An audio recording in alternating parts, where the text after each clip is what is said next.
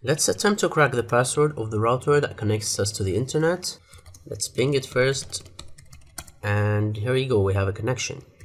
For this purpose, we will use the tool called Medusa to try to figure out the password.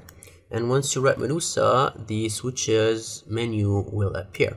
It's actually quite easy to use but first let me explain a bit about Medusa, which is a very fast and massively parallel modular login brute forcer. It has modules available to support almost any service that allows remote authentication using a password, such as FTP, POP3, Microsoft SQL, MySQL, SMTP, Telnet, and VNC. Compared to Hydra, which is process-based, Medusa is thread-based, which means it's actually much more faster than Hydra.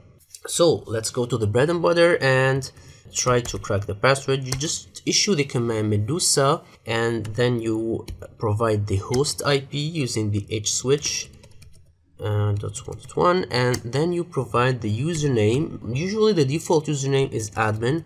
So let's try admin here. The password, just enter the P in uppercase. It will be in the rockq.txt word list. Then provide the switch M and specify the protocol which is HTTP. Just hit enter and watch Medusa does it work.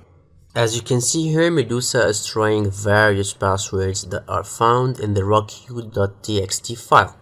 The rockq.txt file is a very huge file containing more than 14 million modern password. It will go through all the options until it finds the right password for you and after attempting around 740,000 passwords, the password was cracked.